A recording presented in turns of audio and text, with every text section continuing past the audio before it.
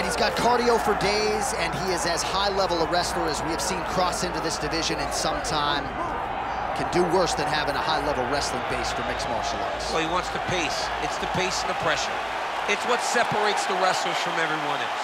It's an ability to go to those dark places, live in them, make those hard moments the best moments of your day.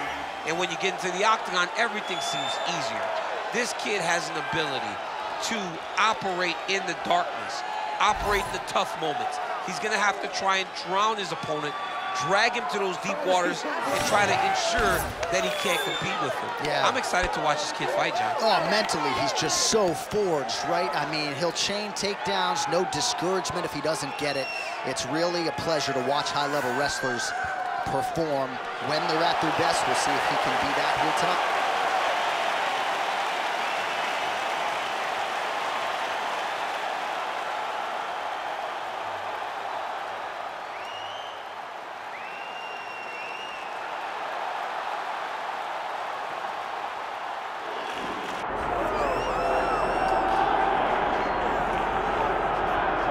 DC, should be interesting to see how it goes for him here tonight. I know you, as a high-level wrestler and Olympian yourself, are always curious to see guys who wrestled collegiately on this level now ply their trade in the UFC. You know, you look at this guy and you think about his past. You think about his background, how he has been trained from his youth to be here. Even though he understood he wanted to be a mixed martial artist, his dad knew that he had to wrestle. And that wrestling took him through college, and it leads him to the UFC. That is why you see him approach fights in the way that he does. It's been embedded in this kid. And if he can continue to evolve his entire mixed martial arts game to match his wrestling level, he's hell on wheels. He's shown that to this point. And one thing he has focused on is being more active when he does get the fight to the ground. So perhaps we'll see an uptick in the ground and pound here tonight as this high-level wrestler gets back to work.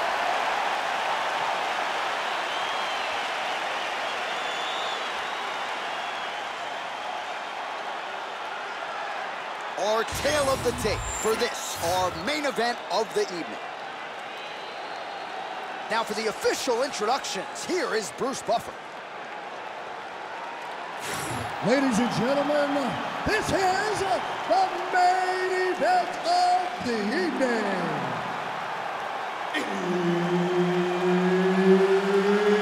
It's time! Five rounds in the UFC middleweight division. Introducing first, fighting out of the blue corner, Chael Sonnen! And now introducing his opponent, fighting out of the red corner. Ladies and gentlemen, presenting the former UFC middleweight champion of the world, the All-American Chris Weidman.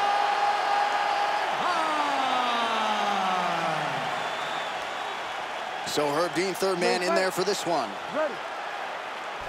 No surprise what Sonnen will be trying to do stylistically in this matchup here tonight. He would appear to have the wrestling advantage. The question is how soon, though, will he be able to execute his takedown game huge uh, hit there from Chris Weidman. DC, that might be the same one that he landed on Anderson Silva in becoming the UFC middleweight champion several years ago. Not a weapon of Weidman's that you want to be hit with. We'll see if he can follow up. All right, he's got the hooks in, DC, working off of his back. Now look for him to attack the neck of his opponent to try to get the rear choke. All right, he's got him in the north-south. All right, setting up for a submission now. That Darce is tight. Tight submission locked in. Darce choke seems to be very close to being finished. He cannot get excited though. How good is that as he gets out? That is great submission defense, keeping everything short and not allowing his opponent to get the submission victory. Working from the top here. Nice ground and pound by Chael. Nice shot lands from the box.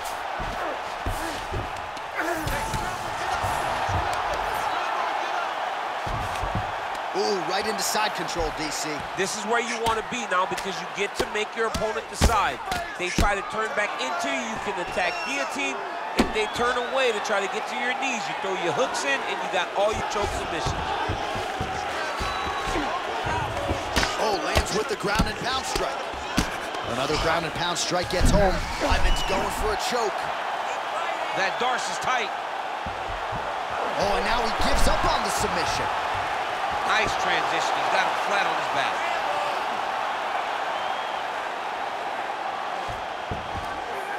There it is. Now he's going to mount. He's doing a really good job putting himself in position. Under three minutes here to go in the round.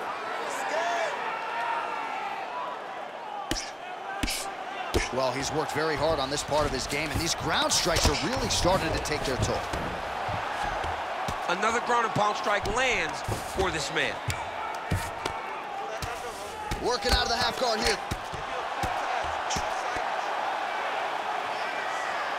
Well, he's staying pretty effective here, fighting off of his back. Nice strike landed there by the bottom by Chael.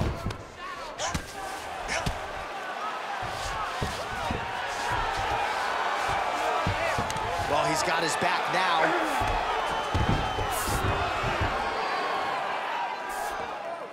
Oh, nice headlock. He takes his opponent to his side to try to get the finish. Looks like his opponent's trying to turn into the choke here, but there's a lot of pressure. Oh, how'd he get out? He pushed the elbow up, released the pressure, and turned his back down to the mat. Great job and great submission defense by this young man.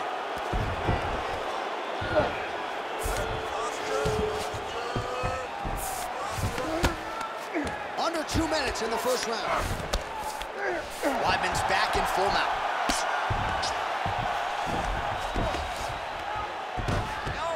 He's got to be careful here.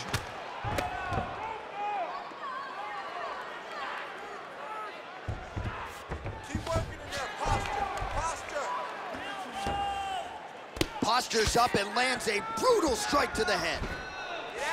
Another strike gets through from the top position. All right, operating inside the closed guard now. I mean, way to stay aware and stay safe defensively. The ground strikes starting to pile up.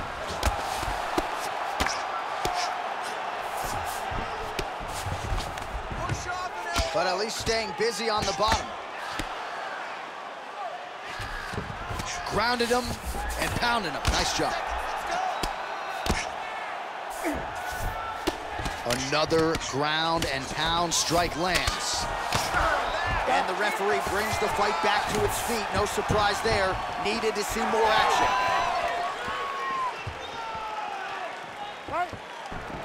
45 seconds to go here in round one. That is a huge shot right there, DC. You don't want to eat too many more of those. No, and he needs to start looking to finish now because he's got his opponent hurt very bad. Oh, and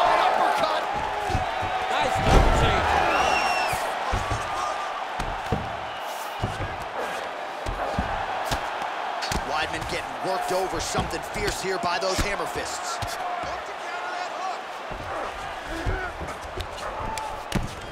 Oh, trying to pass here, but Dikembe Mutombo style, he gets denied. Block!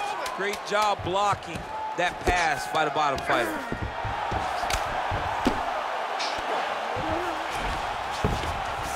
Good work from the top here by Summit. Round two is next.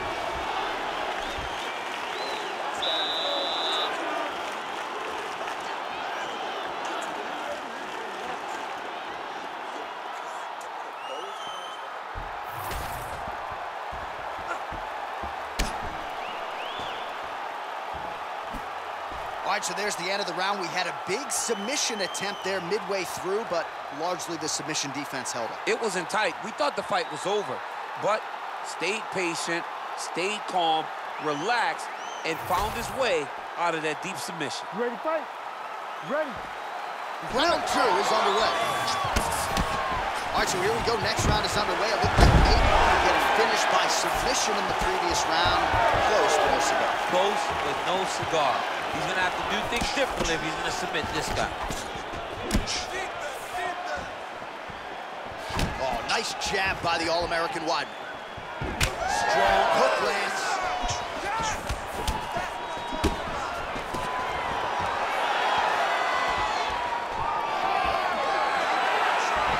All right, gets inside, gets the single collar tie here.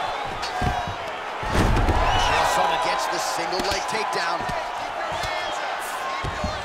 He's setting up a choke now. Look at that, he setting it up. Oh, gotta protect your neck. Guillotine choke is locked in. There's the tap. Chris Weidman! Your winner by submission.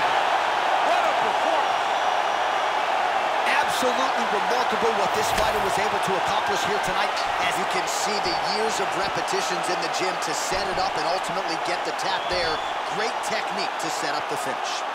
All right, let's take a look back at the replay as he gets it done by submission tonight, champ. He does a great job of staying patient. He doesn't rush or panic.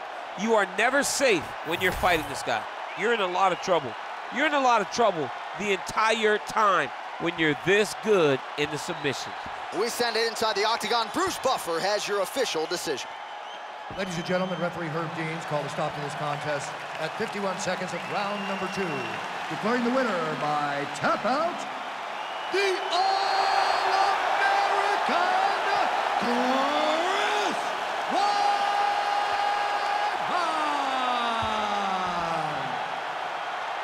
So the former UFC middleweight champion Chris Weidman proving again that he is still among the true elites at 185 pounds. What a performance that was tonight. And he's a guy who we've known for some time, really has everything